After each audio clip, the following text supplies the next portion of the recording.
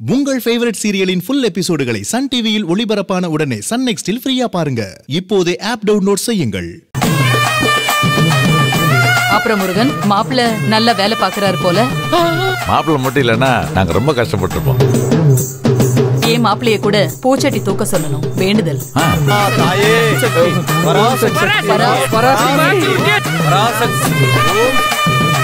சுந்தரி நாளை இரவு ஏழு மணிக்கு